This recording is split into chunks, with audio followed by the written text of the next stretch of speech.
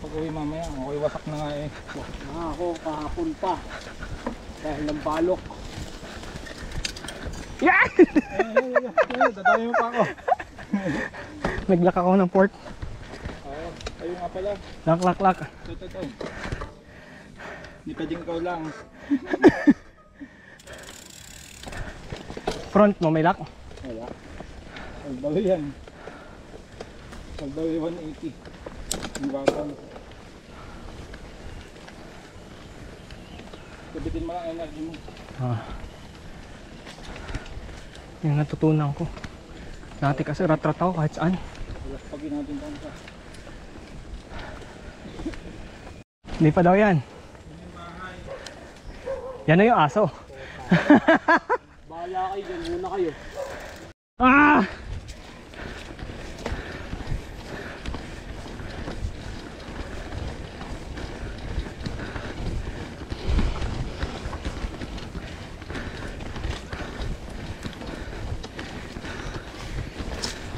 Binudol tayo ni GM! Ah! Ah!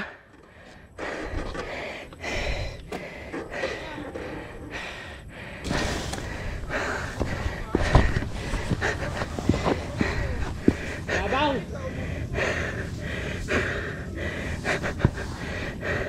Woo! Handa nagbalok kahapon, diretso ko to. Kali pa akong ilabig kahapon. Ano yung sa balok, dalawang oras. Pulsos pa yan. Maghapon ako nakatayo. Ako din naman ah. Sasalita pa ako ngayon.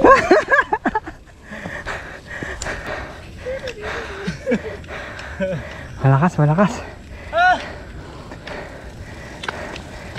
Planado tong lahat ni Sir JM. Hindi. Lakas oh. Nagkunwari lang siyang pagod na bro. Sumukot na ako dito. Ay, ayun pa, meron pa.